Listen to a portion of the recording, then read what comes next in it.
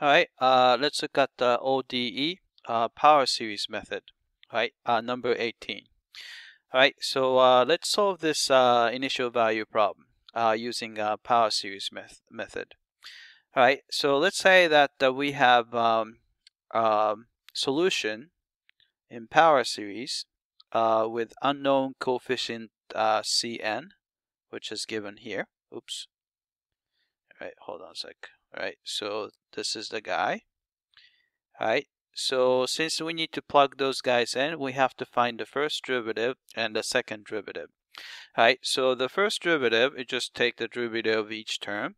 We get uh, y prime uh, is equal to uh, summation right since uh, n, n, equals 0 it's going to be 0 anyway so I'm going to start from n equals 1 to infinity right? So Cn is just a constant, and derivative of x to the n is n times x to the n minus 1, right? So you can see that uh, since there's n there, when n equals 0, term is 0 anyway, so that's why I'm starting from 0. I was starting from 1, all right? Then the next step would be we need to take another derivative, so y double prime is going to be equal to uh, summation uh, n goes from 2 to infinity, right? So n is just a constant, uh, cn is just a constant, derivative of x to the n minus 1 would be, uh, I have to put the n minus 1 there, maybe I should put, uh, oop, uh, that's not what I wanted to do. All right, hold on a sec, so I'm gonna do this, right? So n is there, but you have to put n minus 1, cn, x to the n minus 2, right? So those are the uh, first derivative and the second derivative. So what we're going to do is uh, I'm going to simply uh, plug this guy in here and this guy goes in here and this guy goes in there. Right, so let's do that. All right, I'm going to just uh, distribute the x squared to y double prime. You're going to get this. So it's kind of tedious. Uh, so you have a summation. Right, n starts from uh, 2 to infinity. Right, so you have n and n minus 1 and we have cn and then you have x to the right so n minus 2 times x squared so that will give us uh, x to the n right now we distribute 2 to y double prime. So we're going to have a summation. Uh, it's going to go from 2 to infinity. All right, it's going to be 2 times n times n minus 1 times uh, x to the n minus 2. All right? And the second term is uh, 4x times y prime. So we have uh, summation, uh, n goes from 1 to infinity, right? You have a 4, and we have n cn. Then x times x to the n minus 1 would be x to the n, right? A third term is 2 times uh, y, so it's going to be a summation. Uh, n goes from 0 to infinity right? So then you have a 2 times uh, cn, then you have x to the n, right? So this is supposed to be equal to 0. So right hand side is 0. All right, so what we want to do next is uh, I'm going to uh, combine all that in one summation and pull out x to the n. All right, so uh, let's work on that. All right, first thing is here, uh, I want to start from 0. Right, this one is actually an easy fix. Right, so you have uh, n starts from 1, but uh, you can start from 0 because when n is equal to 0, the term is 0 anyway, so you're not really adding anything new. Alright, so that's done. Alright, and also this one, you can do the same thing. Um, instead of starting from 2, I can start from 0 because uh, when n equals 0, because of this n, the term is 0 and n equals 1 because of n minus 1 the term equals to 0 anyway so again we're not adding anything new, right? Uh, this one is a little bit tricky, right? Everyone else seems to have x to the n. This one has x to the n minus 2. So we have to um, uh, match that. So what we're going to do is I'm going to uh, shift the uh, index uh, two notches, right? Instead of starting from 2, I'm going to starting fr start from uh, uh, 0. So you have a summation n starts from 0 to infinity, right? So since we're starting from a number uh, 2 less than the original number, I'm going to change the index to adding 2 to everyone. So you have a 2 here, right? n becomes n plus 2, right? Because uh, plugging in 0 here is equivalent to plugging in 2 there, right? So, and here, n minus 1 becomes n plus 1. Right? Then you have x to the n minus 2 becomes just the x to the n. Right? So you can see that uh, here, all the summations are starting from 0. Right? Right? This one and that one. All right? Then we can just uh, write the one summation. So put them all together you have a summation n goes from 0 to infinity. Right? And another thing is that the everyone now has x to the n. We have x to the n, and we have x to the n there. We have x to the n there. Right? So what we can do is so we can pull out x to the n, uh, probably um, putting it right here, x to the n right? And the right hand side is 0. So I'm going to go ahead and write that. All right. Then let's uh, collect the terms with the Cn in it. So you have a Cn, all right? All right, so look for Cn. All right, so this is the term here.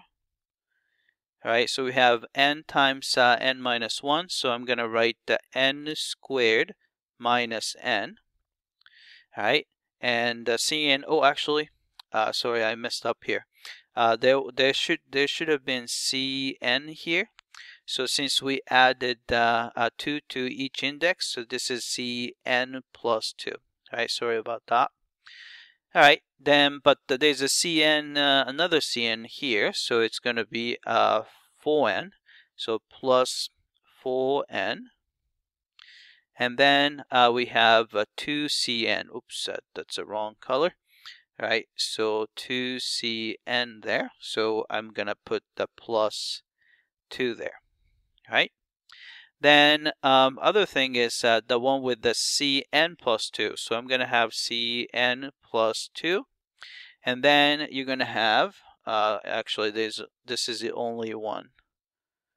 All right, so I'm going to just copy that. So you have a 2 times uh, n plus 2 times n plus 1.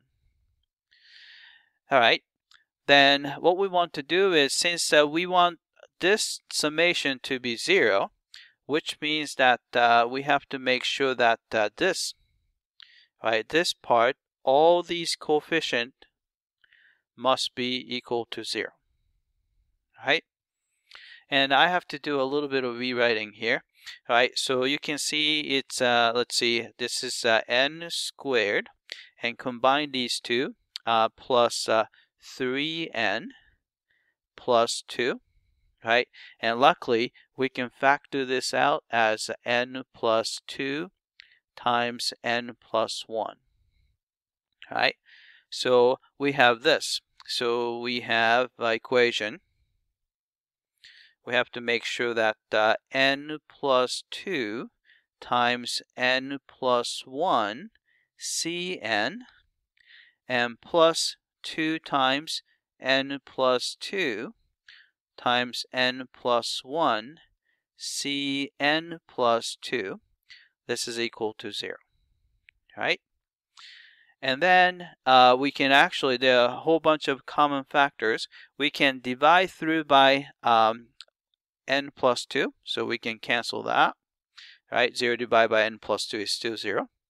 And we can divide through by n plus 1. and that goes away. So what you get is uh, simply uh, you have a Cn plus 2 times Cn plus 2 equals 0. Then I'm going to solve for Cn plus 2. So I'm going to subtract Cn. We get the 2Cn plus 2 is equal to negative Cn. Right? Then we can just uh, divide through by 2 to get the formula for Cn plus 2. Cn plus 2 is negative 1 half Cn. Alright, so we are trying to come up with the um, uh, formula for Cn uh, using this uh, kind of a recursive formula here. Alright, and also uh, we need to uh, look at the um, initial value condition. Right here, it says that the y of 0 is equal to 1. Right? What does that give us? Right? So if you plug in x equals 0 into this uh, a power series, you can see that uh, everything is 0 except for the constant term because uh, you have a constant term C0 and everything else is going to be 0 because you plug in x equals 0. So this says that uh, if you plug in 0, only thing that's left is a C0. So this initial conditions tells you that the C0 is equal to 1. Right? We already know the C0 value. All right. The next thing is uh, right here. Right? Uh, y prime of 0 is equal to 1. Right? Then if you plug in x equals 0 into this power series for y prime, what happens is uh, only the first term is left over, which is uh, 1 times c1, because that's a constant term. So c1 is going to be actually 1 as well. So this tells you that um, uh, c1 value is equal to 1. All right, then the next step is trying to come up with the formula for Cn, right? But we have to actually do a couple different cases uh, because uh, since uh, uh Cn plus 2 is based on um, Cn, so it kind of skips one uh, one notch. So I'm going to uh, look, look for the even term and the odd term separately, right?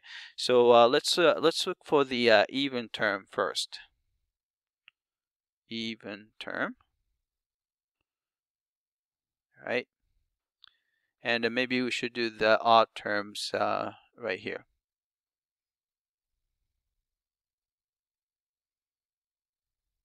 Right? So we have uh, even term, right? So we're going to look at the C2, right? So C2 is going to be equal to right? So according to this, we can just do uh, n equals 0. C2 is going to be negative uh, 1 half uh, C0, right? But the C0 is 1, so you're going to get uh, negative 1 half. All right? So let's do uh, C4, right? Then it's going to be C4, it's a 1 half times uh, C2 right? But uh, uh, C2 is one negative 1 half. You get the 1 half squared. Right? So let's do C6. Right? And the negative 1 half. And uh, C, um, C4. So that's going to give us negative 1 over 2 cubed. Right? I'm uh, running out of time, so I'm going to finish this one and I'm going to uh, make a, another video. So you have a C2N. So here's the pattern. All right, so signs alternating. So it's going to be negative 1 to the n. Right?